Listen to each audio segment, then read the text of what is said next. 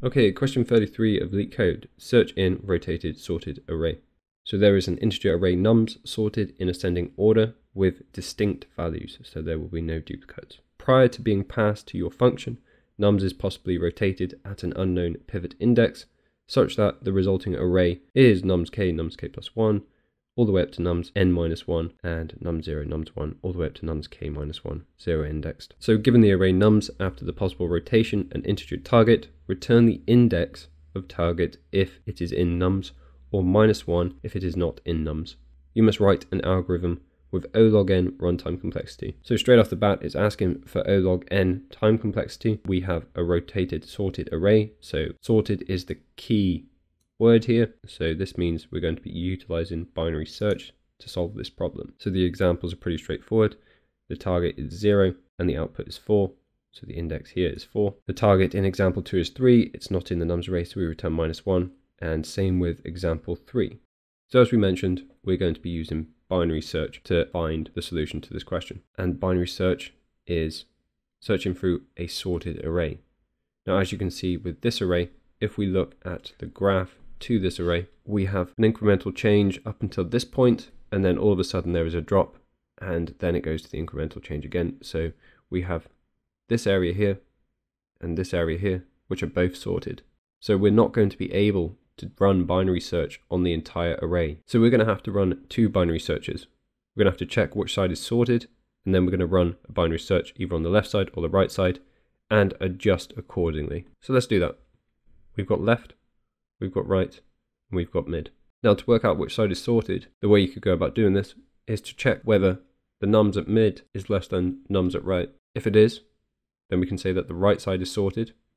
If it isn't, we can say the left side is sorted. So in this case, nums at right, which is 2, is not greater than nums at mid. So we look in the left side for the target. And in this case, target is equal to 0. So we check on the left side whether target can be found in there. So if target is less than nums at mid and greater than or equal to nums at right, neither of those are true. What we can do is we can increment left to mid plus 1. So left goes here, we can update this, and now we can search in this section of the array. So mid is here. Is mid less than right? Yes, it is. So we can look for the target. Is target greater than nums at mid and less than or equal to nums at right?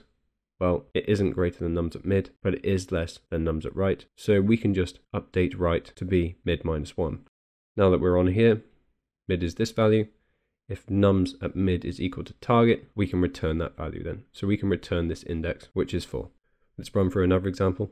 So let's say we have, and target is equal to 8. Well, the first thing, we get the left and right.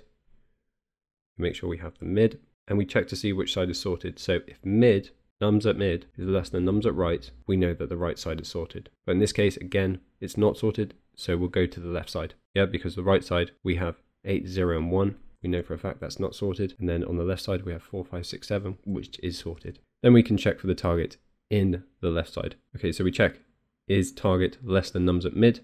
No, it's not. So we can increment left to nums at mid plus 1. So we update mid now. So mid is here. We check if this is sorted. So is nums at right greater than nums at mid?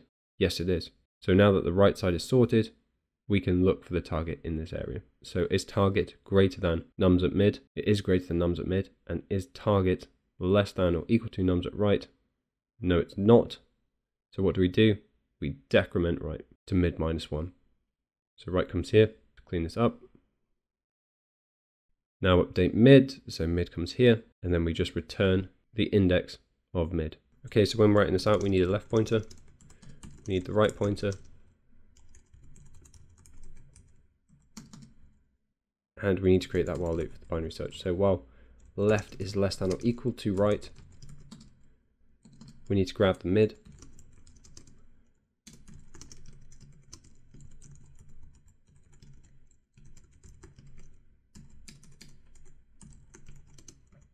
Now we work out the mid this way rather than doing math.floor right plus left divide by 2 because this avoids stack overflow. We can check if nums at mid is equal to target. If it is, we need to return the index of mid. Now we need to check which side is sorted. So as we said in the solution, so nums at right, if nums at right is greater than nums at mid, we know that the right side is sorted. So we can check in the right side. So if target is greater than nums at mid, and target is less than or equal to nums at right, we'll increment left. So we'll say left is equal to mid plus 1, else we'll change right to mid minus 1. So that's if the right side is sorted. Else, we need to make the check in the left side. So if the left side is sorted, we need to carry out the binary search on that side. So if target is less than nums at mid, and target is greater than or equal to nums at left, then we change right. So right becomes mid minus 1, else left equals mid plus 1. And remember at the end to return minus 1, just in case the target is not within the array. Let's give this a run. Okay, that's been accepted. Let's submit it. Okay, and there you have it.